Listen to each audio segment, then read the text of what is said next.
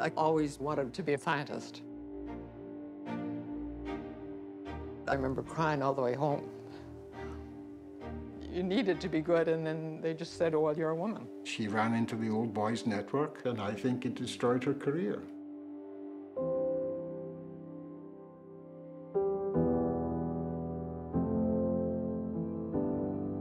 I, Anne Dagg, am a university lecturer in zoology and an expert on the giraffe.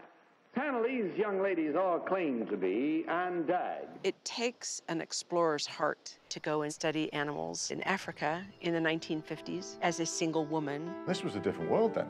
There wasn't the infrastructure, there were no mobile phones, there was nothing. No one had ever really studied a, an African animal in the wild, or pretty well any animal in the wild. So um, I was sort of breaking ground without realizing it. From the very first day I saw a giraffe, incredible.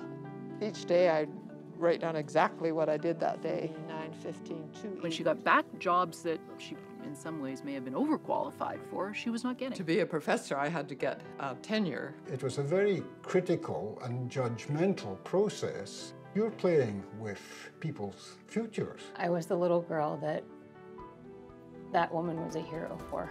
Anne's book was the only book that you could find. It's just the Bible to giraffe, really. You're working on giraffes. She was the pioneer. She was essential reading. She felt that she was forgotten, and she founded the study of giraffe biology. We didn't know her. It was really important to me that we'd be able to find her. Wilma Rio, Anne Dagg, please stand up. I never really thought about it, that me being a woman, and they thought about it all the time, I think. Did you never let it stop you? Oh, no. Well, because I, I was thinking I was a person.